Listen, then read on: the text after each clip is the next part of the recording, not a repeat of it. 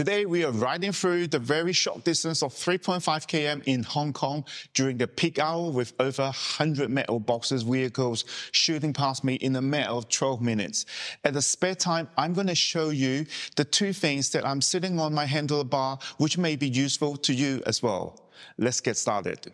So there's a short distance of 3.5 km between my stay in Hong Kong and to one of my working spots in Mong Kok.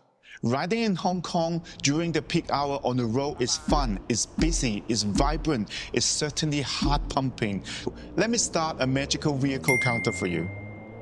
Chances are you will meet, yes, I said meet, more two ton square boxes than anywhere in the world. Anyway, I think the video is rather slow.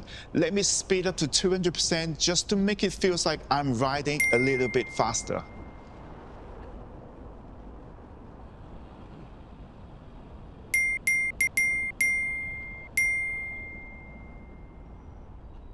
It seems like we're going to get some traffic lights here. I'm going to use the next couple of traffic lights to show you the two things that's sitting on my handlebar here.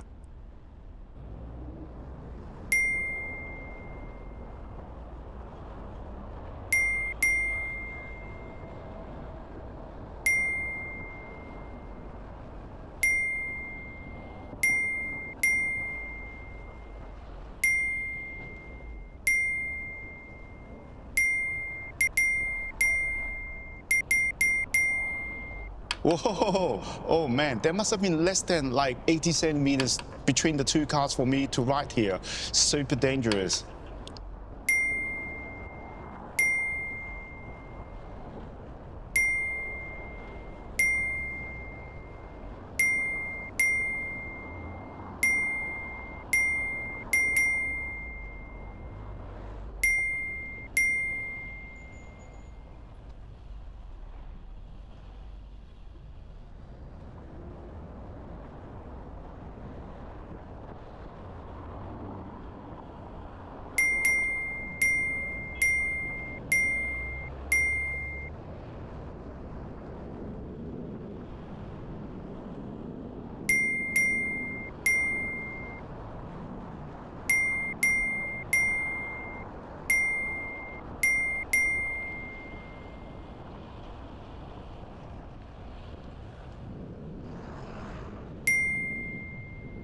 I'm sure this car saw me coming. I don't know what he's thinking, why he popped up from the junction.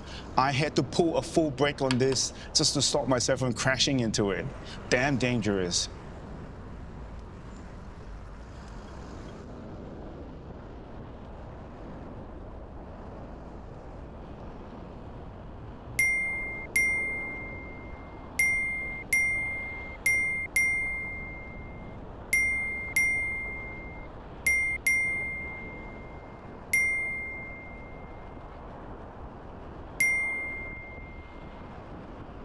Anyway, are you guys enjoying this kind of riding on the road video? If you are, please let me down in the comment below. I will try and make more of it.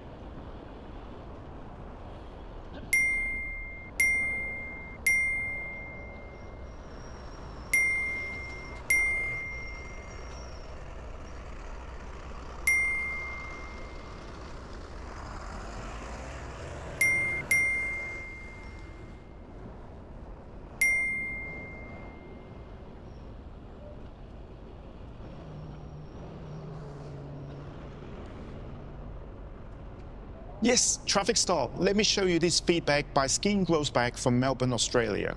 I have been using this kawaii colorway feedbag on my Brompton for a while now. It's been called a feedbag because when it was first designed, it was supposed to be used on the touring bike to hold their food supplies on their longer rides. However, many Brompton riders has converted them as a water bottle holder. I'm telling you, it actually solved the water bottle problem. Aside from the water bottle, there are spaces for the phone and the house key for a quick light ride as well.